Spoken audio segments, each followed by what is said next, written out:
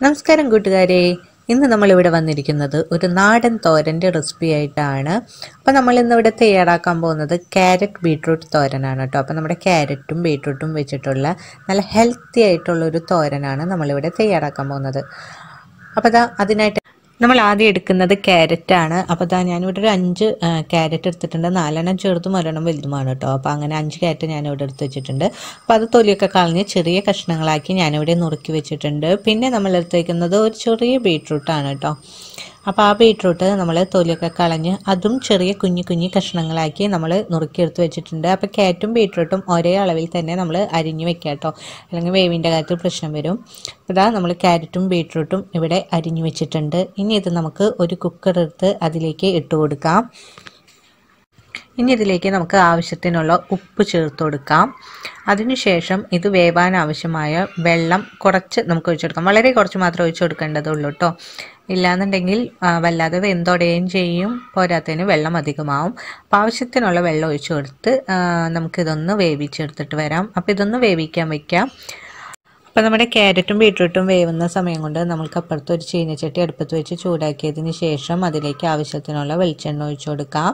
വെളിച്ചെണ്ണ ചൂടായി വരുമ്പോൾ അതിലേക്ക് ഒരു കാൽ ടീസ്പൂണോളമുള്ള കടുകിട്ട് ഒന്ന് പൊട്ടിച്ചെടുക്കാം. അതിനുശേഷം അതിലേക്ക് ഒരു വറ്റൽമുളക് ഞാൻ ഇട്ട് കൊടുക്കുന്നുണ്ട്. പിന്നെ ഒന്നോ രണ്ടോ തണ്ട് കറിവേപ്പിലയും കൂടി. ചേർത്ത് നന്നായി മൂപ്പിച്ചെടുത്തതിന് ശേഷം നമുക്കിതിലേക്ക് സവാള ചേർത്ത് കൊടുക്കാം. ഞാനിപ്പോൾ ഇവിടെ ഒരു സവാള ചെറുതായി നുറുക്കിയതാണ് ചേർത്ത് കൊടുക്കുന്നത്. അപ്പോൾ നമുക്ക് ഇതിലേക്ക് കുറച്ച് ഉപ്പും കൂടി ചേർത്ത് നമുക്കിതൊന്ന് നന്നായിട്ട് വഴറ്റിയെടുക്കാം കേട്ടോ.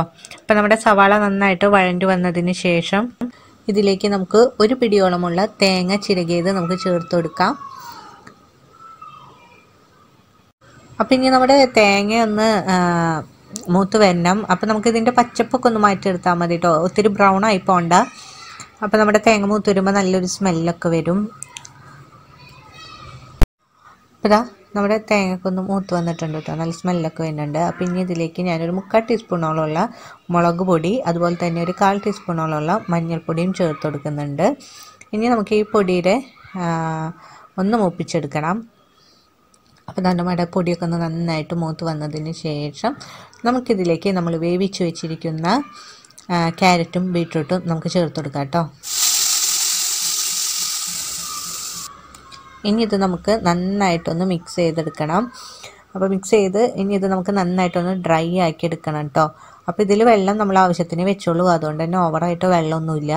അപ്പോൾ ഇനി ഇത് നമുക്ക് നന്നായിട്ടൊന്ന് ഡ്രൈ ആക്കി എടുത്തതിന് ശേഷം നമുക്ക് ഫ്ലെയിം ഓഫ് ചെയ്ത് ഒരു പാത്രത്തിലോട്ട് മാറ്റാം.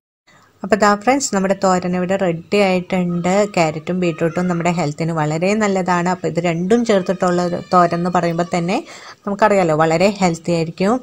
അപ്പോൾ എല്ലാവരും ഈ കോമ്പിനേഷൻ ഒന്ന് ട്രൈ ചെയ്ത് നോക്കാം. ഇനി നല്ലൊരു റെസിപ്പി ആയിട്ട് നമുക്ക് കാണും വരെയും. ബായ്